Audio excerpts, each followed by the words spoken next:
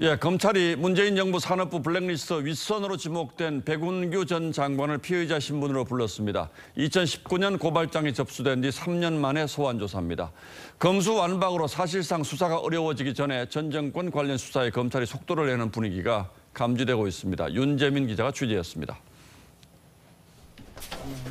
지난달 20일 백운규 전 산업부 장관의 집과 대학 연구실을 압수수색한 검찰.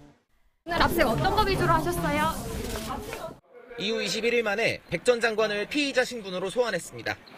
백 전 장관은 문재인 정부의 탈원전 정책을 추진하려고 박근혜 전 대통령 때 임명된 산하 기관장들의 블랙리스트를 만들고 사퇴를 종용한 의혹을 받습니다.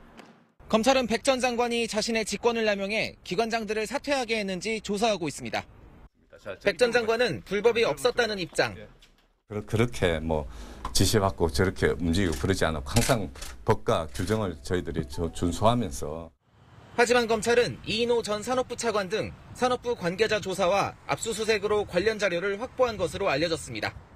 이번 소환 조사는 2019년 국민의힘 전신인 자유한국당 고발 이후 3년 만에 이뤄졌는데 법조계 안팎에선 검찰이 9월 검수완박 시행을 앞두고 가시적 성과를 내려고 본격 수사에 돌입한 게 아니냐는 분석이 나옵니다. 백 전 장관 조사 결과에 따라 산업부를 넘어 문정부 청와대 인사로 수사가 확대될 수 있다는 관측도 제기됩니다. TV조선 윤재민입니다.